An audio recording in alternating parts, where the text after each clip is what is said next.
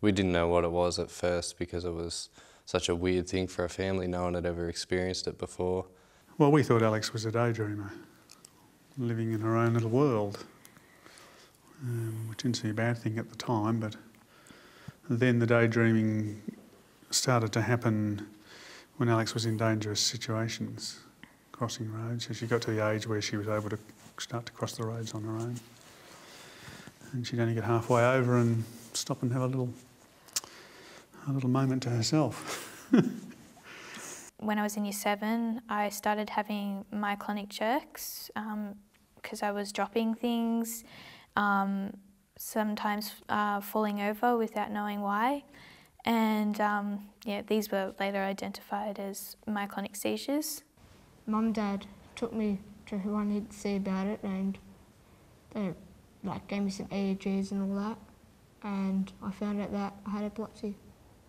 I was diagnosed with epilepsy when I was from an infant basically but that's I stopped taking medication when I was about eight years old when we came back over to Australia from Bahrain and um, I was off medication for about five, six years and then I had a relapse just last year.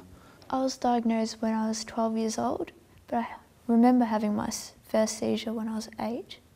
I was diagnosed at, I think, age 12 um, after multiple tests and uh, a lot of like um, visits to the doctor. I was eight and a half months old when I was diagnosed with epilepsy. I was at home when I had the tonic-clonic seizure, so luckily my dad knew what to do and then I was rushed to the hospital because this was the first time it happened and um, the doctor on at emergency he said that um, I have epilepsy. Oh, the first time I had a seizure, I didn't really know what it was because I hadn't had one for such a long time, so I didn't really tell anyone. And but then it happened again, and obviously I had to do something about it, so contacted a neurologist, and yeah, we started from there. Help from a friend who was in the medical profession, um, who sort of alerted us to the fact that epilepsy wasn't just having large fits, that there were various versions of it we knew nothing about at that stage. I knew absolutely nothing at all. I didn't even know what it was. Yeah, didn't even know it existed. It's very, very terrifying to have your life changed in an instant. To say one minute you're normal and then the next minute you're, I suppose, different. Like, you know, it's very, it's very altering, life altering. Um, yeah, I saw myself a bit differently too. So it took a while for me to accept the change as well. I didn't feel that bad. I didn't take that seriously.